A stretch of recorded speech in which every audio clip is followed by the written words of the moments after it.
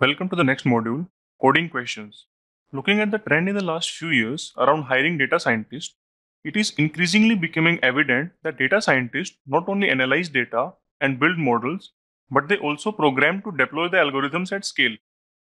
Data engineering is an important aspect of a data scientist's day to day life. As a data scientist, today everyone is looking for machine learning expertise, which involves a fair bit of coding. The type of coding questions you would be asked totally depends on the job description. So always read through the job description carefully to get an idea around that. You can straight away ask before the interview as well about the programming language in order to brush up your skills. In this module, I would be walking you through some of the most popular types of interview questions.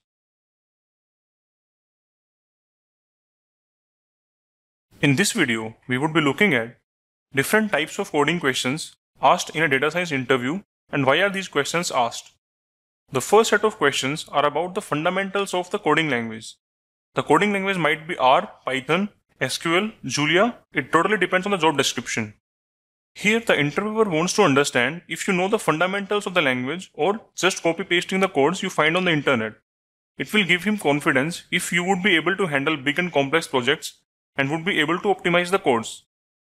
The next set of questions are about solving puzzles and small case studies using the programming language. The interviewer provides a problem and wants to see how you get to the solution. Problem solving ability is also a test here.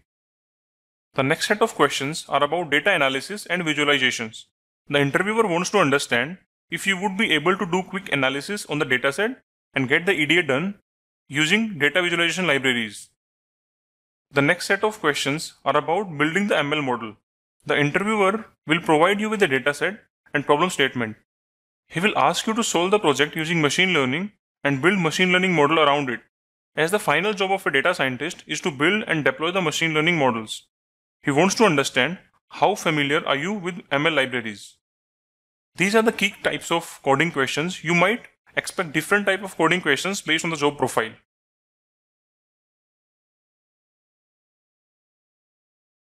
In this video, we would be looking at how to solve a coding question the first step is to make sure that you fully understand the problem they are asking. Work through any example inputs if provided. The next step is to figure out a brute force solution to the problem. No coding is required at this point. The next step is to optimize your solution. Take some time to figure out the absolute best solution you can in this period of time. When comparing solutions, consider the time complexities. The next step is code up your solution. Even if it's not optimal, it's better to have a complete non-optimal solution than an incomplete optimal solution. The next step is test your code and fix any issue. This is incredibly important. It doesn't matter if your code isn't perfect the first time, but you had better be able to identify the errors. The approach which the interviewer takes to find a solution to the problem is as important as the solution itself. Hence, directly jumping to the final solution may not be the best way.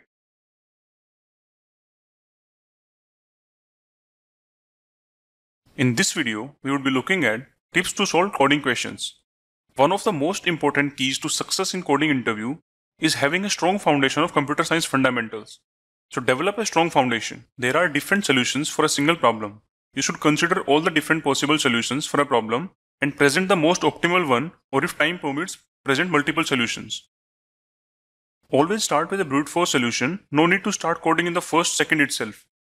You should plan out the full solution before you start writing code. Maybe start with a pseudocode.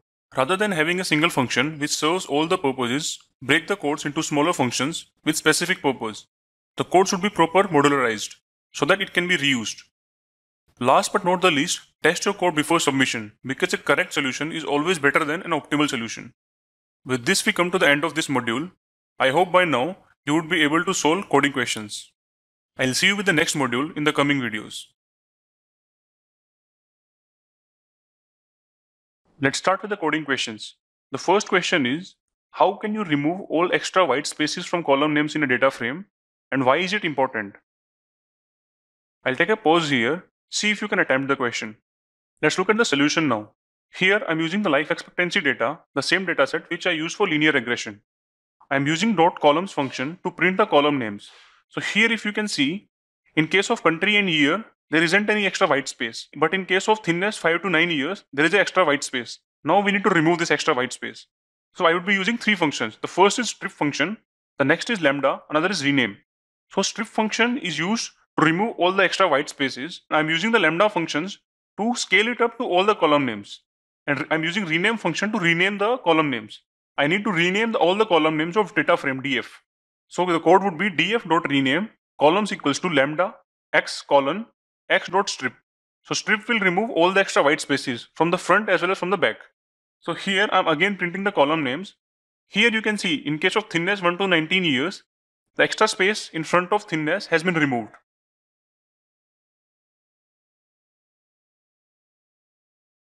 Let's look at the second question. The question is get the position of items of series 2 in series 1. Here the input is two series SER1 and SER2. So pandas.series function is used to create the series.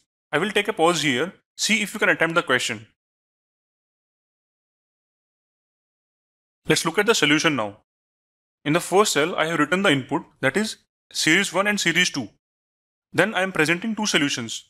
One is using numpy.where function, another is using pandas index and get location function. The answers are pretty straightforward. I am using list comprehension function along with numpy.where and dot .toList function in the solution 1 and I'm using pandas.index and .getLocation function in solution 2. You can check the answer as well.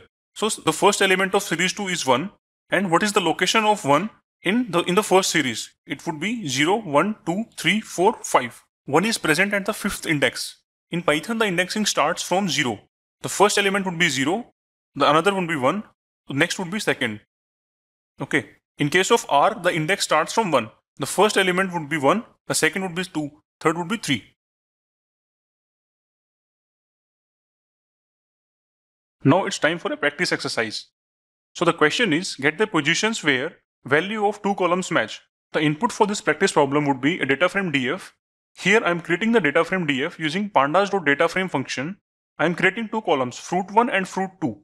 Both the columns are having 10 values which are randomly chosen from apple, orange and banana. You need to find the position where the value in both the column names match. Give it a shot.